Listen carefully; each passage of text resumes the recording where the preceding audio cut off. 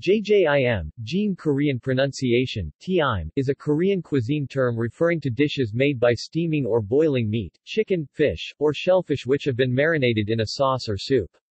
The cooking technique originally referred to dishes cooked in a siru, silu earthenware steamer mainly used for making tteok by steaming. However, the name JJIM has now come to imply a finished dish with a steamed appearance. The cooking method for most JJIM dishes nowadays has changed to boiling the ingredients in broth and reducing the liquid.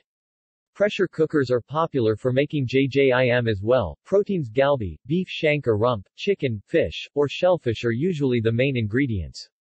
The ingredients are marinated in a sauce, then put to a boil with a small amount of water.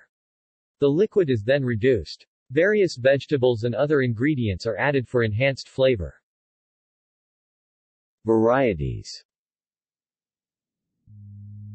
Galbijim, galbijim made by steaming marinated galbi, beef short ribs, with diced potato and carrots in ganjang sauce.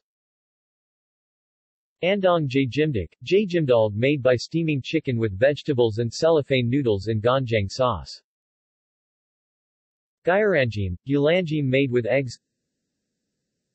Sangsian jjim, sangsianjim made with fish Agujim, agujim made by steaming marinated blackmouth angler, stalked sea squirt, kongnamul, soybean sprouts, and minari, manali water dropwort. It is a local specialty of Masan, South Gyeongsang Province. Domajim, domajim made with sea bream Yundegujim, yundegujim made with cod Janbakjim, janbajim made with abalone marinated in a mixed sauce of ganjang Korean soy sauce and cheongju, rice wine. Dubujim, dubujim made with tofu